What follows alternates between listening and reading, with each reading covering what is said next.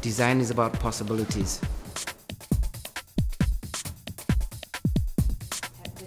In the graphic design, one class, we tend to do applied projects of a sort so that they get a real world situation.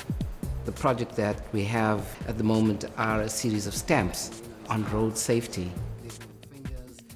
In terms of this one, I think Anna is absolutely right. I think it's okay, but it doesn't have the quirkiness that the others have. It's just the same old. Imagine, I think that if she took that cell phone, as, as we kind of know it, and she took stop signs and made them into buttons, just see a few of them. It's almost saying stop texting and driving. You know, it's the absurdity that we've got to make buttons or icons in the same sort of way.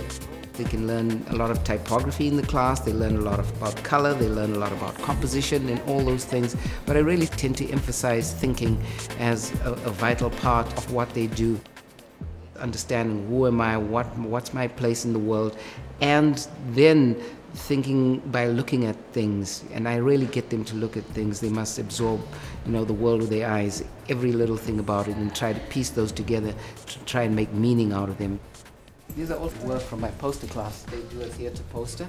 I was born in Zimbabwe and I studied in England. I'm predominantly known for my poster work. Uh, they mainly about uh, the environment and health and social issues.